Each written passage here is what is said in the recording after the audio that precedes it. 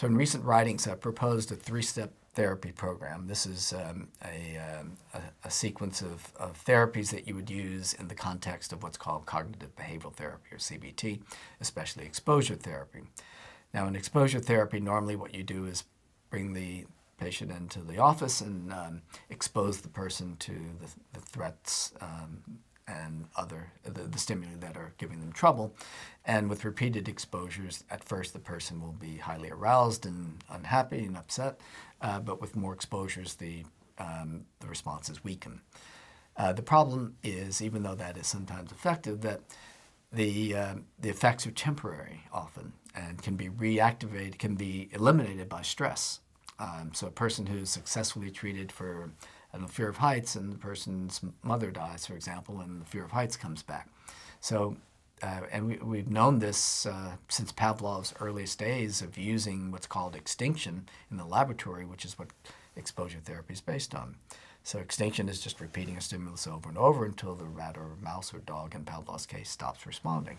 It's common to think of exposure therapy as extinction, but that turns out to be misguided. Exposure therapy is really much more. It involves a lot of kind of back and forth talk, in other words, talk therapy between the, the patient and the uh, therapist.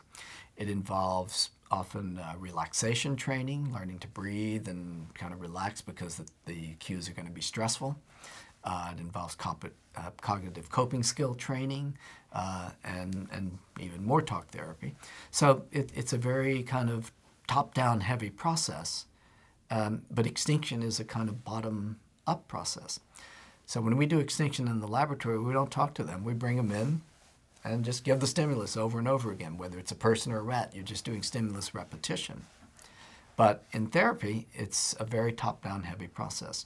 And I think that may be interfering uh, both with the top-down processes, in other words, with the talk therapy you're trying to do, and with the extinction therapy you're trying to do under the guise of exposure.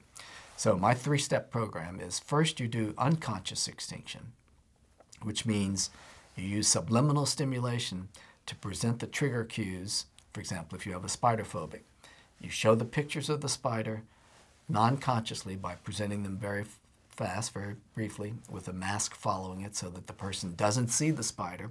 So their conscious mind is not freaking out about the spider. They may be getting aroused by it, but they don't know why. So the idea is, then is that through non-conscious extinction, we can rein in the amygdala so that it's no longer generating arousal in the body and brain. Once we've done that non-consciously, we can turn to conscious exposures. Now that the conscious exposures no longer produce the arousal, it's easier for the conscious mind to take the exposures and for it to, uh, for those associations in, in, in conscious memory to be weakened.